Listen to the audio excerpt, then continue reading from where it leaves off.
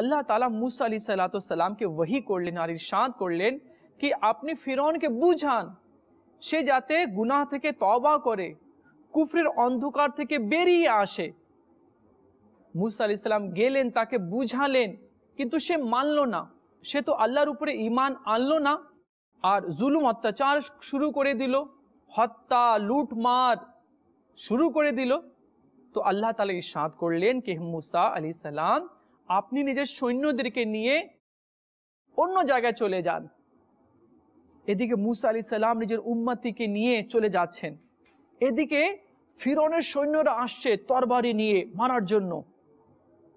মুসা আলী সাল্লাম নীল নদে পৌঁছলেন তো পানির ঢেউ, বড় বড় ঢেউ আসছিল। এখন কীভাবে পার হবেন? লোকেরা ভয় করছিল, এখন কি হবে? তো মুসা আলি সাল্লামের কাছে কি ছিল? আশা, লাঠি ছিল। তিনি পানির মধ্যে আঘাত করলেন। সঙ্গে সঙ্গে পানি কি করল? রাস্তা দিয়ে দিল। পানি সরে গেল আর রাস্তা হয়ে গেল।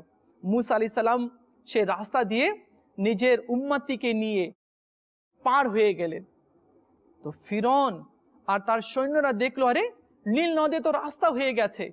যাই, এই রাস্তা দিয়ে যাই আর তাদেরকে ধরে নি যখনই তারা পানির মধ্যে নামলো মানে রাস্তা ছিল, শুকনো ছিল। যখনই তারা নামলো, অর্ধেক রাস্তায় পৌঁছলো, সঙ্গে সঙ্গে দুই দিক থেকে আবার পানি মিলিত হয়ে গেল। ফিরন আর তার সৈন্য সবাই পানির মধ্যে ডুবে মারা গেল।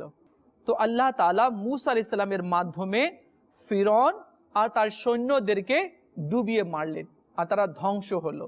তাহলে বুঝা গেল যে জুলুম করবে আর যে জালিম হবে তার একদিন পতন হবে। দুনিয়াতে বড় বড় জালিমরা এসেছিল।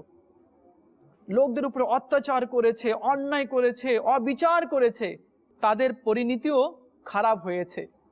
তারাও ধ্বংস হয়েছে। তারাও অপমানিত হয়েছে। তারাও একদিন মরেছে। আর তারা কীভাবে মরেছে? অপমান হয়ে মরেছে। লজ্জিত হয়ে মরেছে। তো এই জন্য জুলুম করতে নেই, অন্যায় করতে নেই, অবিচার করতে নেই। কারও মাল আত্মসাত করতে নেই, কাউকে কষ্ট দিতে নেই, কাউকে গাল দিতে নেই, মিথ্যা বলতে নেই গিবোধ করতে নেই। মানুষকে ভালোবাসা উচিত, মানুষের সেবা যত্ন করা উচিত, মানুষকে সহযোগিতা করা উচিত। তো আমরাও ইনশাআল্লাহ আসাল মানুষের সহযোগিতা করব। মানুষকে ভালোবাসবো আর মানুষকে কষ্ট দিব না, ইনশাআল্লাহ আসাল